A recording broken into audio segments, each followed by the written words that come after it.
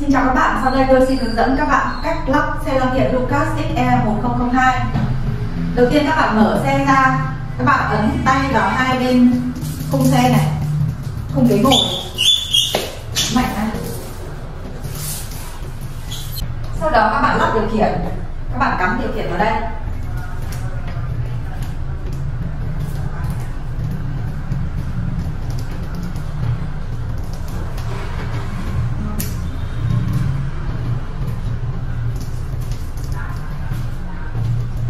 Tiếp theo các bạn lắp đệm ngồi và đệm tựa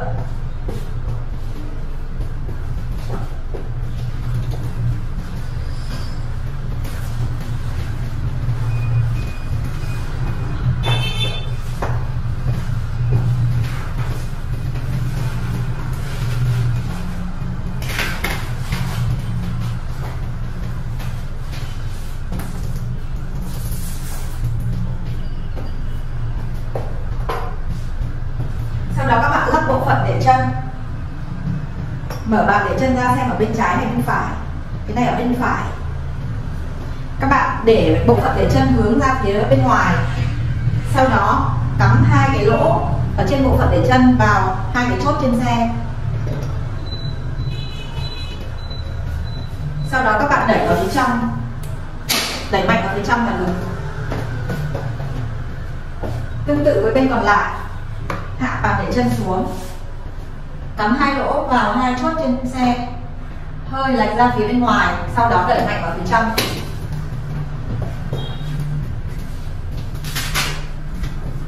Lắp dây gai đỡ chân.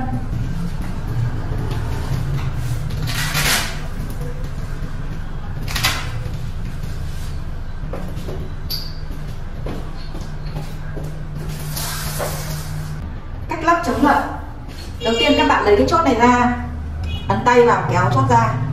Sau đó các bạn cho thanh chống lật vào. Và cắm cái chốt này xuống sao cho cái chốt này vào đúng cái lỗ ở trên thanh chống lật. Tương tự với bên này.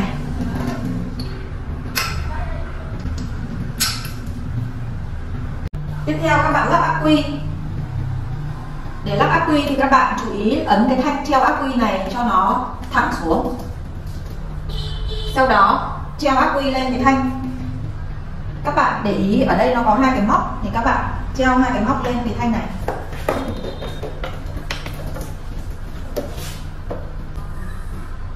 Cuối cùng các bạn kết nối dây từ ắc quy vào dây điều khiển. Dây màu đỏ này. Cắm đúng chiều là nó vào. Xong bạn bật nguồn kiểm tra xem điện vào chưa? Điện đã vào. Đây là nút nguồn. Đây là nút nguồn này. Đây là bạch bảo báo pin. Đây là còi. Đây là nút tăng giảm tốc độ. Các bạn điều khiển xem xe chạy được chưa?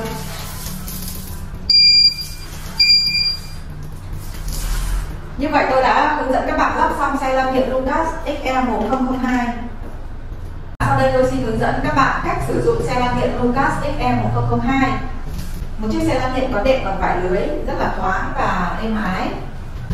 Trước khi lên xe, các bạn hãm hai cánh xe lại để cho xe không bị trôi. Hãm hai cánh xe ở hai bên. Tháo dây an toàn ra. Bất bằng để chân lại để cho vật vướng các bạn lên xe từ giường vào ghế thì các bạn sẽ nhấc cái thành xe này ra. Hai bên có thể nhấc lên được thì các bạn di chuyển từ giường vào ghế vào. Và các bạn có thể đi từ phía trước.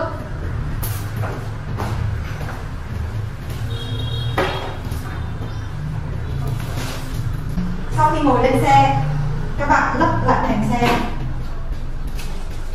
Hạ bàn để chân xuống. Thắt dây an toàn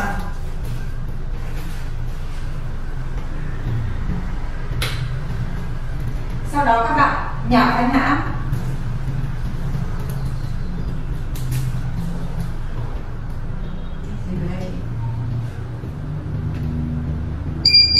bật nguồn và điều chỉnh tốc độ như mong muốn. Sau đó là các bạn điều khiển xe. Bộ phận điều khiển có thể tiến lùi hoặc là sang trái, sang phải xoay 360 độ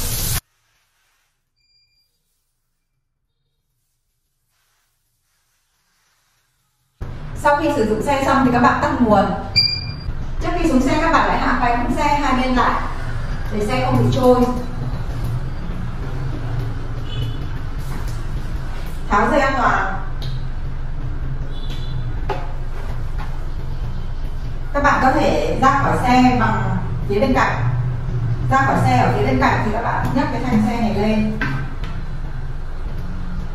Hoặc các bạn có thể ra khỏi xe từ phía trước thì các bạn nâng bằng để chân lên. Sau đó ra khỏi xe. Ở chế độ chạy điện thì nếu như các bạn muốn đẩy xe thì đi nó sẽ hơi nặng.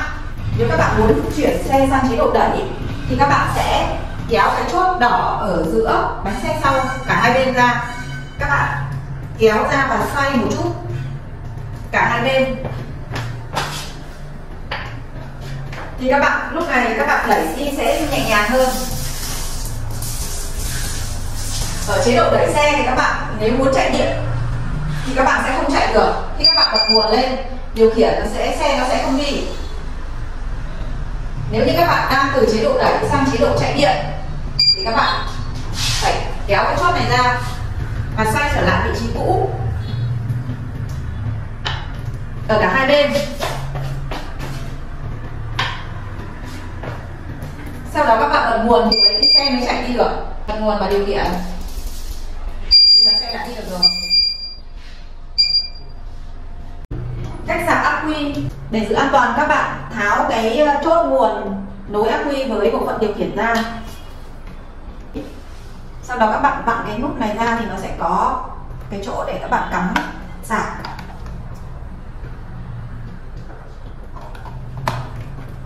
Các bạn có thể để ắc quy ở trên xe hoặc nhấc ắc quy ra. Để sạc rồi, bên này các bạn cắm vào điện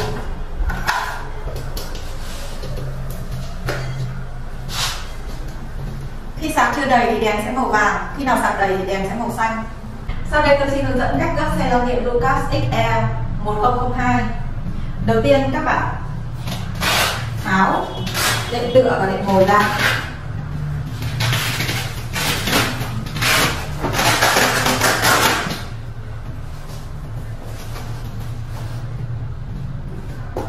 Sau đó các bạn tháo dây dây gai giữ chân này ra.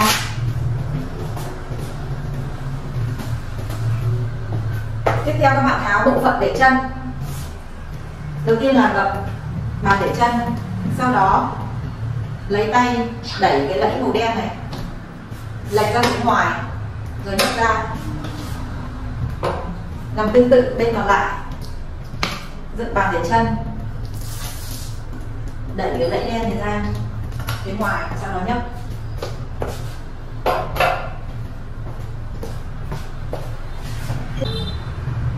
tiếp theo các bạn tháo bộ phận điều khiển.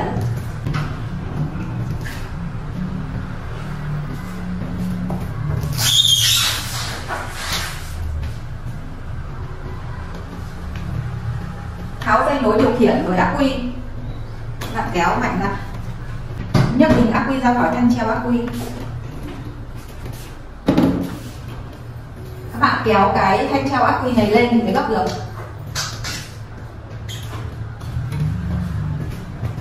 Sau đó kéo cái đệm ngồi này lên.